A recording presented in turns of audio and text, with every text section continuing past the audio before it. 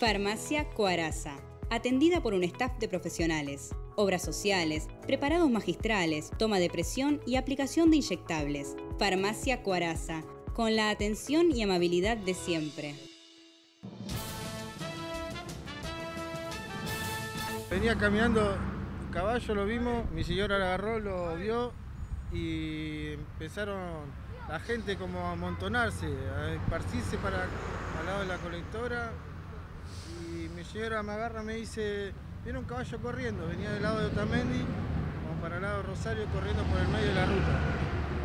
Eh, me tiro a agarrarlo por la mano rápida parando el tránsito, paró todo el tránsito, el caballo se abatató, lo corrimos unos 200 metros, lo pudimos agarrar con un, con un cinto, lo pudimos agarrar, lo traje acá a la parrillita, lo contuvimos acá un- unas 3, 4 horas porque llamamos al 911, llamamos a la rural, no, no nos quería mandar nada, viste, la rural, viste, porque no, no estaban de servicio, no sé qué pasó.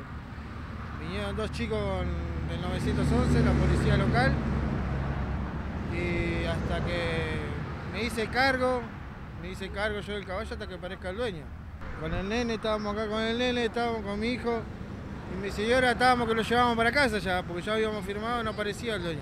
Y para no darlo a alguien para que no se lo lleve o lo lastime de vuelta a la ruta, eh, apareció el dueño, apareció eh, y se lo pudimos dar a, devolver al dueño, al dueño de la yegua.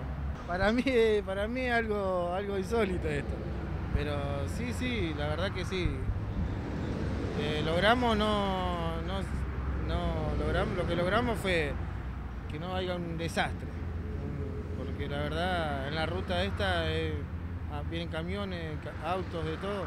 Y nosotros al estar acá en la- al costado de la ruta con el carrito acá, la verdad tuvimos suerte de agarrarlo nosotros.